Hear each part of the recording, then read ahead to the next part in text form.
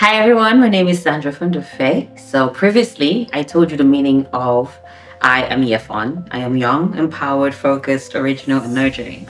We also went over the meaning of why. So today I want to briefly tell you about E for those of you that are joining me. So the letter E in the I am Yefon acronym stands for empowered. It tells you that I am empowered and empowering. So what is the difference between empowered and empowering? Empowered is I, Sahndra, empower myself. I make sure that I am the best for the job.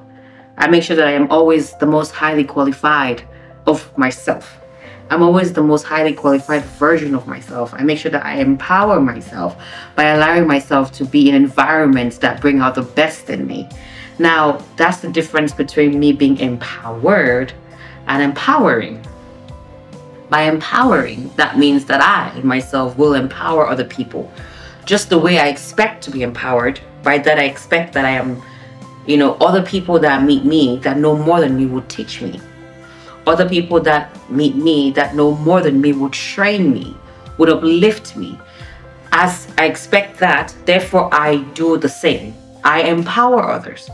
When I meet others that I know more than on a, on a, on a given topic, I will empower them when I am in a situation where I happen to be the leader, I will make sure that those who are under me, who are working with me, will have the best environment, the best training, the best tools that they need to be the best version of who they're supposed to be. So the E in I am Yefon is I am empowered. I empower myself, I empower other people, because that really creates one of those cycles that does not end. It's a, it's a, it's a, it's a great tribe of people where everybody's spiraling, you know, existing at the highest level of their of their capacity, you know, breaking capacity, getting better.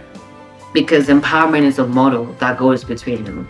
So I hope that that helped you and I hope that moving forward you will make that a part of your life.